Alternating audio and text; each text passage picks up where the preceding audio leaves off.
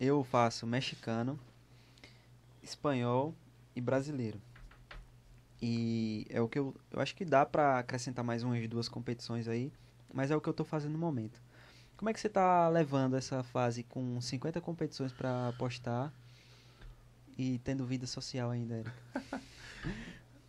Cara, foi, foi tudo um processo, na verdade, né? Eu fiz, fui adaptando, né? Eu adaptei a metodologia. Então, por exemplo, há menos de um ano atrás, MV, eu fazia, eu precificava, vamos imaginar uma rodada da Série A, só, só, só para exemplificar, né? Flamengo e Palmeiras é um jogo, primeiro jogo de sábado. Eu queria saber o preço de Flamengo e Palmeiras.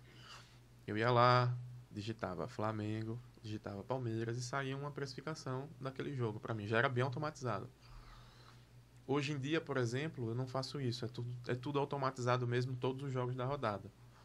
Então, é, essa pressão de ter muito volume de trabalho me pressionou para avançar na, na, nas ferramentas. Né? Então, eu criei a base metodológica a, desde o início da minha carreira. Depois, eu fui aperfeiçoando ferramenta. É, imagina a base metodológica virou um, um sei lá, uma foice.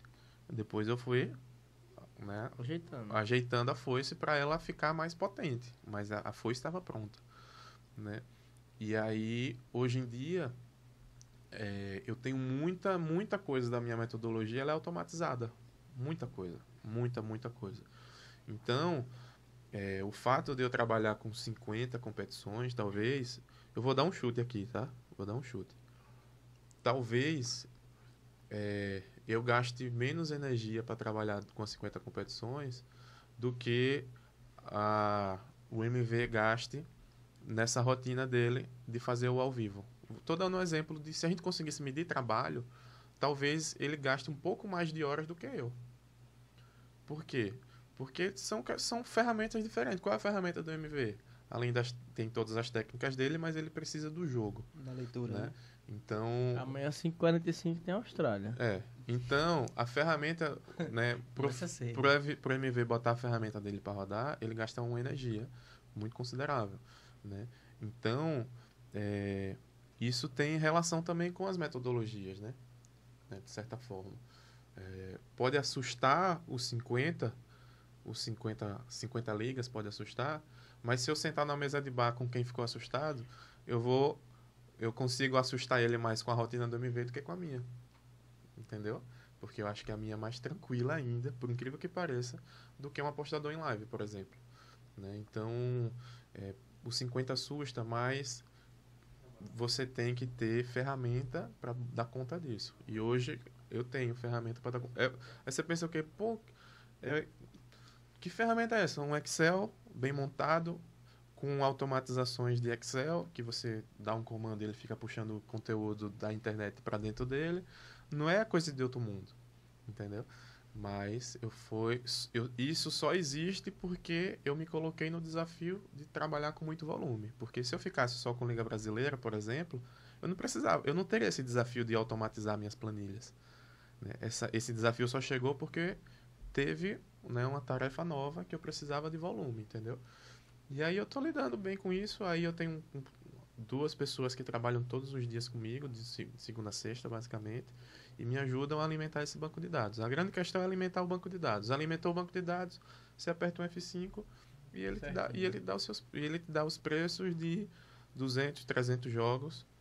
E aí você tem que confiar no volume, porque vamos imaginar que 5, 10% daqueles jogos tem né, não estão tão afinados, afiados a uma metodologia de precificação, porque tem alguma questão extracampo, tem alguma coisa que é, aquele preço vai estar tá errado, mas se tiver errado dentro da margem é ótima, né? Você não erra na aposta, só erra na Sim. análise. E de forma geral você vai achar muito desajuste, assim, porque o mercado erra muito. Essa historinha que o MV contou do Sergipe A2, cara, isso acontece não assim nesse nível, né? Mas né, trazendo para outra realidade, tem muito erro, muito erro. Inclusive, né, eu, eu, e o Rodolfo, a gente está fazendo um estudo de todas as ligas do mundo, aí, principalmente o Rodolfo, eu estou só bizuiando ele, é, de, do tamanho dos, dos ajustes em várias ligas do mundo todo. Assim. A gente está abismado assim, com a quantidade de erro que tem. E é isso, e a gente vai atacando onde dá, né? vai, vai trabalhando onde dá, assim. Mas, de certa forma, é uma experiência muito rica, assim, que só é possível por causa da metodologia e por causa das ferramentas. Sim. Se fosse de outro jeito, era imposs é impossível. Impossível, não tem como. Fizeram uma pergunta para mim ontem na caixinha de perguntas. É, quantas competições eu trabalho, quais são e se eu domino muito bem elas. Aí eu, eu falei, vi. cara, minha planilha tem mais conhecimento das competições do que eu. Uhum. E eu acredito que no, na sua metodologia é da mesma forma também. Sim. Não, eu fiz uma aposta hoje no Tomei um head, inclusive, no, na segunda divisão da Escócia. Eu não sei dizer nem quem são os jogadores, nem o nome do time. Mas eu fiz uma aposta no mais 0, mais 0,5 a 2 do visitante. E o jogo começou, o visitante estava com mais 0,25 a 1,70. Estava excelentemente é. posicionado. Isso é o que importa, entendeu? É isso que você está falando. A minha planilha sabe muito mais né, do que daquele confronto do que eu, porque eu não sei nem para onde vai aquilo ali, entendeu? Que no longo prazo vai dar dinheiro. No longo prazo isso vai dar dinheiro. Agora, se eu sei o nome dos jogadores, ou o nome do time, ou o nome do juiz, não necessariamente né, eu era que isso vai, vai me dar dinheiro. Mas a minha planilhazinha precificando a segunda divisão da, da Escócia, ela vai achar erro o tempo todo. Por quê? Porque a casa erra.